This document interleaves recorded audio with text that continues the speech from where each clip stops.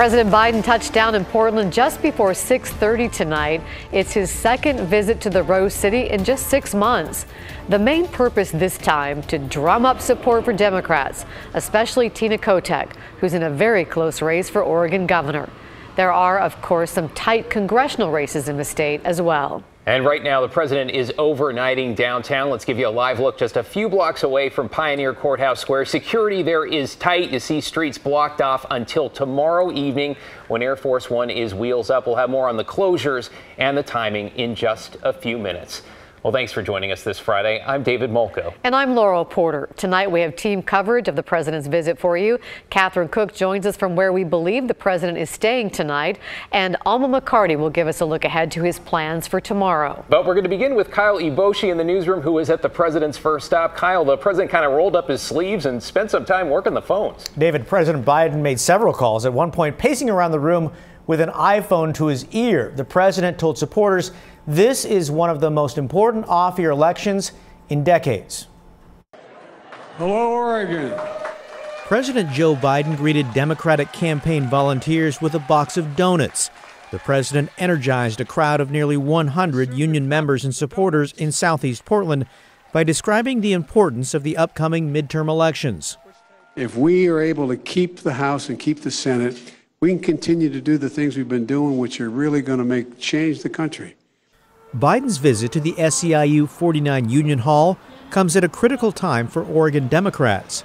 Recent polling suggests Democrat Tina Kotek is deadlocked with Republican Christine Drazan in Oregon's governor's race. Non affiliated candidate Betsy Johnson is trailing. SEIU, the state's largest labor union, has put an unprecedented amount of money into backing Kotek, the Democrat. What a governor does matters. It matters. It matters, it matters, it matters. During his nearly hour long visit, Biden joined campaign volunteers by working the phone. He made several calls and left quite an impression on those in the room.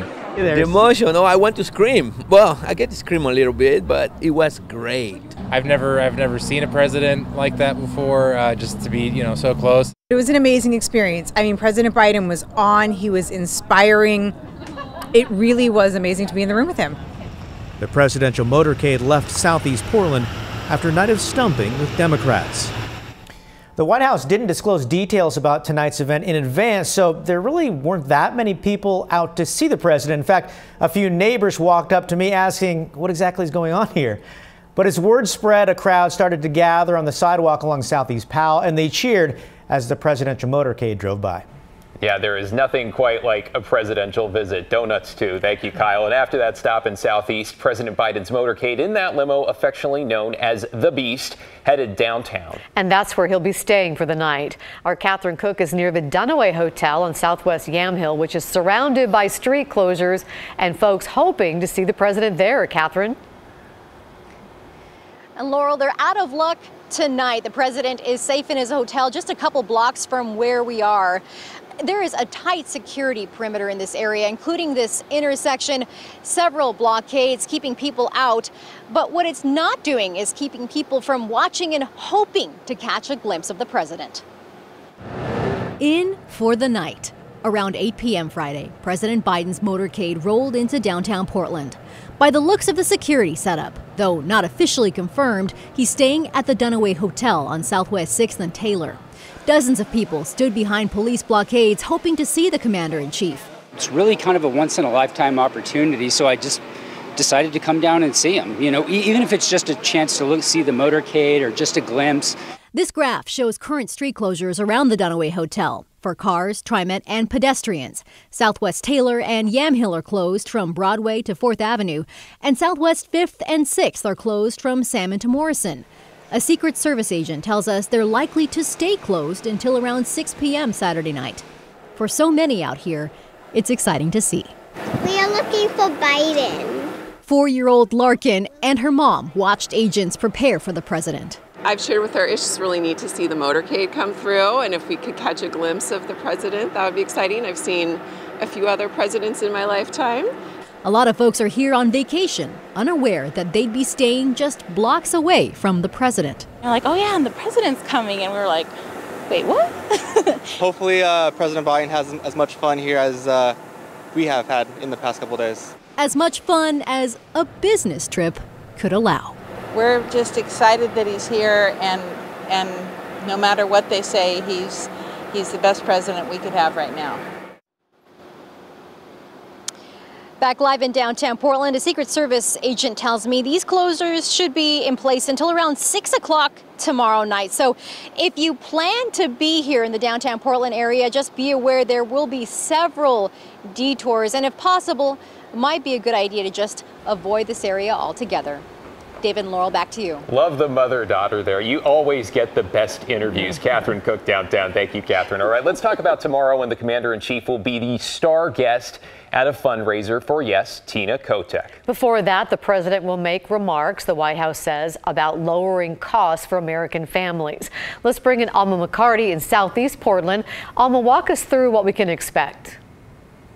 Well, Laurel, David, the president will be here at the East Portland Community Center around midday tomorrow. And even though this is a very quick trip, it is certainly a busy one. So let's talk about that timeline of events and really what we can expect. The president is going to be giving a speech here again at the community center around noon about lower drug costs for families. And following that event in Southeast, he's taking part in a reception for Tina Kotek at 145. At 250, Biden will depart Portland, making his way back to the East Coast to spend the weekend in Delaware. Circling back to that speech now, the president's focus will be on how the Inflation Reduction Act, set to go into effect January 1st, 2023, will help people afford their prescriptions. This as open enrollment for Medicare begins.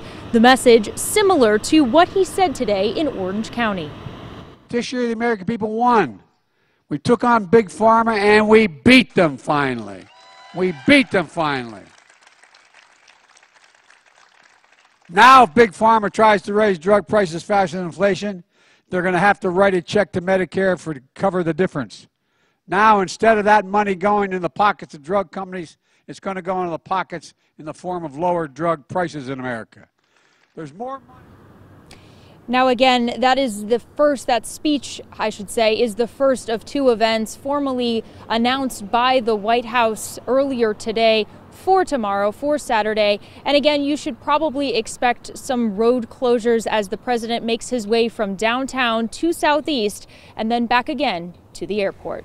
David, Laurel. Alma McCarty teeing it up for us tomorrow in southeast Portland. All right, while many Democrats are buzzing about the visit, Republicans are criticizing the candidates and the president. Kotek's opponent in the governor's race, Christine Drazan, tweeting, quote, Oregonians are tired of status quo politicians like Tina Kotek and Kate Brown who have made life worse for families across this state. Bringing in a failing president isn't going to save a failing candidate. End quote. Meanwhile, unaffiliated candidate Betsy Johnson posted a video saying she hopes the president comes more often because it means homeless camps that she pointedly blamed on Kotek get cleaned up. She also said the president needs to talk to local officials about actually holding criminals accountable. And stay with us for continuing coverage of the president's visit tomorrow. You can watch his speech streaming on KGW.com or KGW Plus, and we'll have a wrap up of events later on KGW News. Busy 24 hours. All right, we're also following breaking news tonight a police shooting in downtown Portland with at least one shot fired just as the president was arriving on the other side of the city. Witnesses tell us they saw an officer shoot a man near 12th and Jefferson. They shot this video just after it happened. They believe the man was hit in the arm. Police confirm he is expected to survive. Video shows the officers handcuffing him while he was on the ground afterward. What we don't know is what led up to this. The officers were responding to a report of a suspicious person with a weapon. The witnesses reported hearing commotion just before hearing one shot fired. The intersection is still blocked right now for the investigation. We'll keep pushing for more details on the case and we'll keep you updated. And about 90 minutes before that shooting, a man was killed In a homicide in northeast Portland, police found the man with a gunshot wound right across the street from Holladay Park in the Lloyd district. That was around 4:30. He died later in the hospital. So far, no one has been arrested and investigators have not released any information on a possible suspect. And we also want to note a serious crash tonight involving a MAX train. The train hit a person who was on the tracks in Beaverton. This is near Hocken Avenue and Millikan Way. We're still waiting for word on the person's condition. Service is shut down on the Blue Line in that area with shuttle buses running between Elmonica and the Beaverton Transit Center.